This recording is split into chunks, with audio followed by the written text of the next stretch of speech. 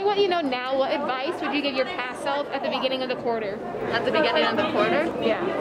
Um, I would tell her to not be like afraid of change because it's, it's gonna happen. do the work when it's supposed to be done and not like procrastinate on doing it because it's just gonna add up and your grade's gonna lower like badly and it's gonna be hard to get it back up.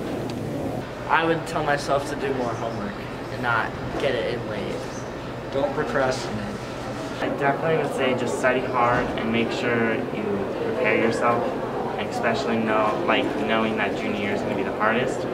Just prepare yourself for like the hard tests like SATs, ACTs. Probably just study for the midterm because I'm like Yes, yes, yes, yes. That, that's mine too. I'm really just bad on one of them.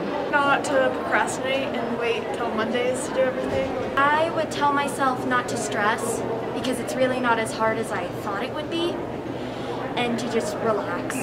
Don't procrastinate. I would tell myself to study more because I could have done a lot better on some quizzes and tests if I studied. I would say to get yourself organized now because I'm super busy because I took out more shifts at work now that we're not in school full time and I just feel like organization has been a huge struggle for me.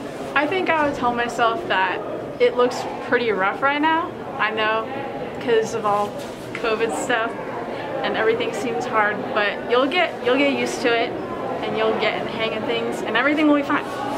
Stay close to the friends that you have. Don't procrastinate.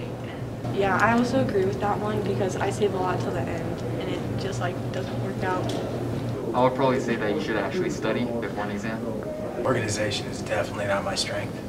And to make it easier for both myself and my students, to make sure that my folders on Schoology were uh, more organized, because seeing students once a week, and you just you can't use the same curriculum. Just to get more organized with my online school, um, I got a planner at the end of the quarter to try and like balance everything out and I should have had that before. It was a lot easier.